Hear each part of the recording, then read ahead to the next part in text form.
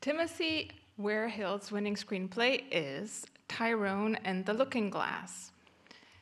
The script chronicles the quest of a black boy in 1963 Alabama to find the magical treasure he needs to defeat a dragon intent on destroying him and his family.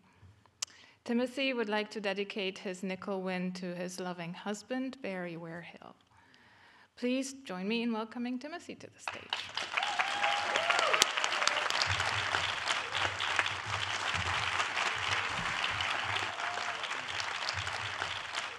Oh, thank you. Wow. Okay, I'm, I'm, I'm gonna uh, be a lemming and sit this down on the floor. Oh, Okay, thank you. Uh, I would like to thank the Academy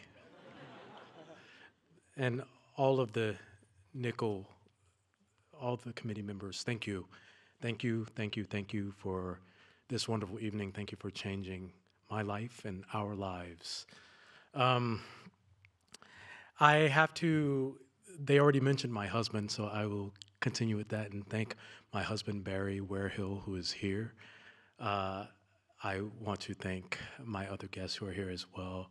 Uh, Mary Gorak, who's a family friend, uh, Janet Jeffries, who's a dear friend and mentor of mine, my uh, managers from the Gotham Group, Matt and Ellen Goldsmith Bain, and their assistant Daniel, um,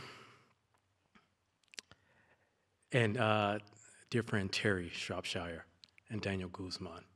Thank you guys for being here to support me. I wrote Tyrone and the Looking Glass because I wanted to tell the story about the young black heroes from the civil rights movement. I grew up in Montgomery, Alabama, my parents told me stories of growing up in the South during the civil rights movement, being kids during the Montgomery bus boycott. And my grandmother told me stories about being a housekeeper. And often the movies that portray that era, the Jim Crow South, the civil rights movement, they're rarely told from the point of view of a child. And we often forget that the children were the heroes in a lot of the movements because their parents were afraid or it was too big of a risk to march out of fear of losing their, their work. And if you lose your work, you lose your home, you lose your food, you lose the little security that you have. Um, I love storytelling, you all. Most of my career was on the stage as a performer. And I find that when I write,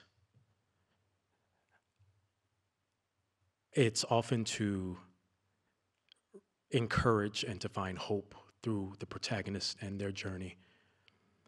And uh, I want to just read a little something that I want to write to that I wrote to use to encourage you all because we are all most of us are all artists in here, but we're all humans and we're going day to day. And I think of Tyrone and his journey as this young protagonist fights for uh, his civil rights. Eh, he's been tasked by his father to integrate an all white high school and the fear that comes along with that. But this is for all of us. You ever feel like you've been running in place? going in circles with your tail in your face. Constantly losing ground when the road swept away, watching others move forward when you're made to stay. You've got this. You ever feel like it's over before you even begin? The stench of defeat just lingers in the wind as it pushes you backwards to start near the end, just to run the same race all over again? You got this. You're closer than you think. The things that scare us most when faced makes it impossible for you to break. The very thing you overcome is the thing that makes you great. Your destiny's on the other side, your toes upon the brink. You, God, this. Though tears escape from weary eyes or head hangs low to mask your cries, you may even start to compromise what you believe is true. Just don't forget that tears, they dry. The pain you feel will pass you by, and soon enough you'll realize the power is still in you.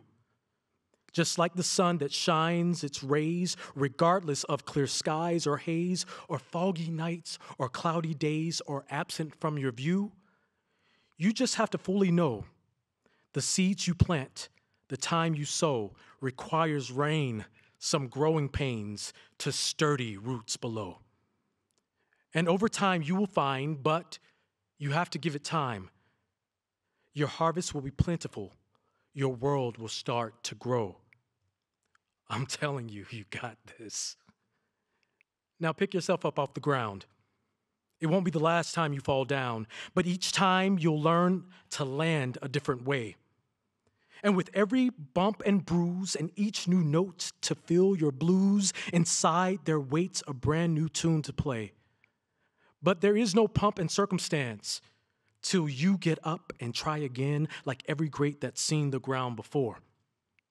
The only way to reach new heights, the only way that you'll take flight is when resistance pulls you back, the further down, the lack of slack. Then, when released, you're coming back. Now spread your wings and soar.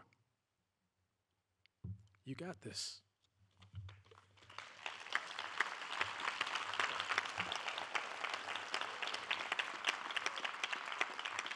These are the words that I think Tyrone hears from his father in the scene that these talented actors are about to read, which is when Tyrone meets Mr. Solid South. Remember that name. Look him up. There's a picture Mr. Solid South. Mr. Solid South uh, runs a confectionery store, a candy store, and Tyrone sees one of his treasures uh, that he has to reach, and Mr. Solid South asks him several questions similar to uh, poll tax that many blacks, Negroes, coloreds had to answer in order to vote back in the day. So, uh, thank you. This is uh, Tyrone and the Looking Glass.